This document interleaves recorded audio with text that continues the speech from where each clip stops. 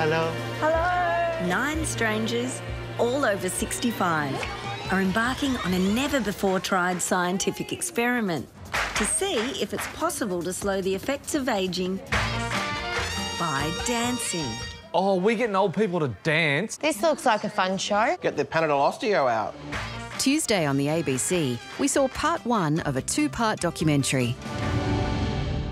Keep on dancing. You tell me to stop dancing. I beg you. The participants have just 12 weeks to master a dance routine. which will culminate in a dance performance. Would you like to take part in something like this? I wouldn't mind learning how to dance. It might keep you younger. We'll be also looking into the benefits. Well, it's got to be good, right? Gets the blood pumping. I've done salsa. I'm 36 years old and I struggled. I don't know how these guys are going to pull this off.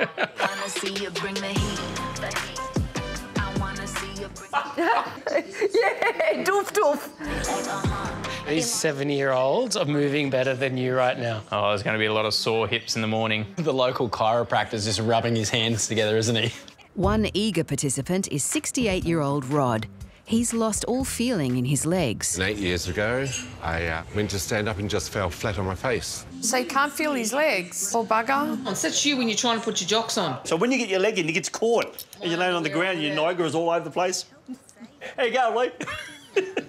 So, Jasmine, what sort of exercises can we get Rod to do? I wonder if dancing will help. Maybe stepping forward and then go back. This just looks like dancing. This is the same thing, guys. After six rehearsals, the participants are starting to find their confidence, Two and Go three around, and go right four round. especially Helen. Face me, face me. I love this.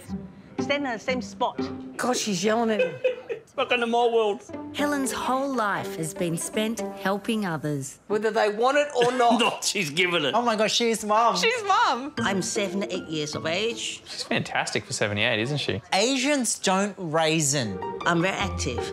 I swear I've seen her do Tai Chi in Burwood Park. I have this friend who's 100 years old. So he has this big party.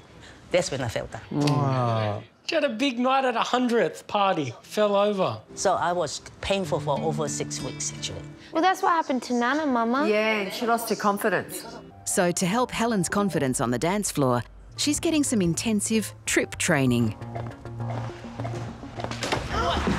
Oh, oh my gosh, she could have hurt herself. Gosh, are you okay? She would have got a fright. Thank God for that harness. Feel a bit scared. yeah, yeah. It's not cool just tripping over old people. Just 20 runs of this course over a single day can reduce falls by up to 50%. What? How? I guess she's practicing to kind of catch herself. Take this one, Helen.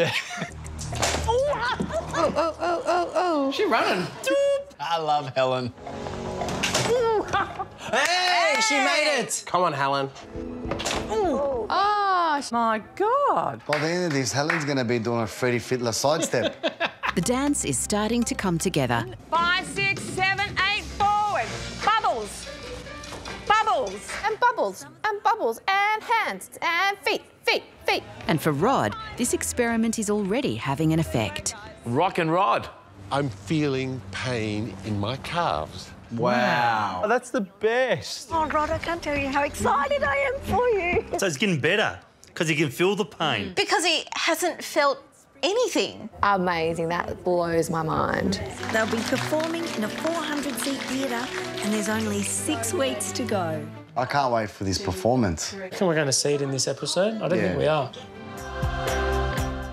Oh! I can't wait to see the next episode. Oh, it's so good, isn't it? I always say dancing's the best medicine. I hate to say this, Keith, but I think this is something we need. Why? Because you're losing it.